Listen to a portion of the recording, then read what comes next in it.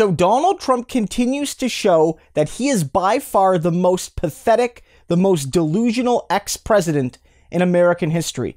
Last night at Mar a Lago, his fancy private club for millionaires and billionaires, he took time out of an event, all the guests there, not to entertain them, not to welcome them, not to congratulate them, but to rant and whine and cry and complain about the 2020 election. You got to see this clip. Let's see what they find. I wouldn't be surprised if they found thousands and thousands and thousands of votes. So we're going to watch that very closely. And after that, you'll watch Pennsylvania and you'll watch Georgia and you're going to watch Michigan and uh, Wisconsin and you're watching New Hampshire. They found a lot of votes up in New Hampshire just now. You saw that because this was a rigged election. Everybody knows it, and we're going to be uh, we're going to be watching it very closely. But start off by you just take a look. It's on. It's on closed circuit. I guess it's on all over the place because everyone's talking about yesterday front page of the New York Times. They didn't want to write it, but that's because they thought they were going to have a negative uh, decision, and the judge gave them gave us a positive decision.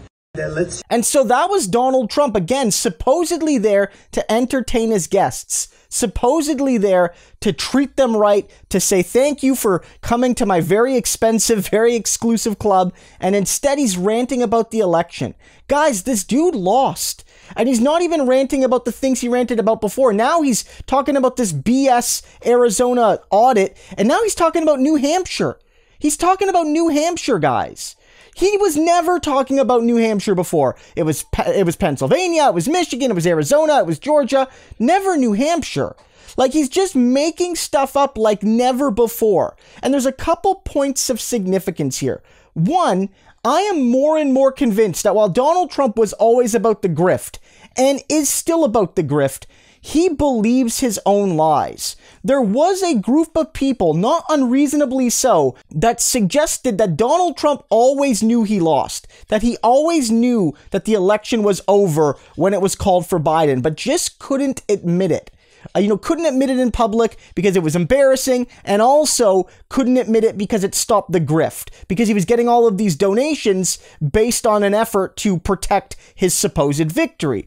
But now I'm honestly convinced that this man, you know, maybe his cognitive decline and all these sorts of things, has tricked himself into believing his own lies. And eh, I'm not, I don't feel sorry for Donald Trump, but there is something very pathetic very sad on a human level to watch a man just be so, you know, absorbed by his own fantasies and lies and delusions. But again, I don't want you to feel bad for Trump because so long as this man, who is the 2024 GOP frontrunner, you might not think it's ultimately going to happen, but the polls show that it's likely to, at least as of right now, he continues to spread these lies. And as long as he continues to do that, American democracy cannot heal. And so ultimately, we can laugh at Trump, but we cannot ignore him.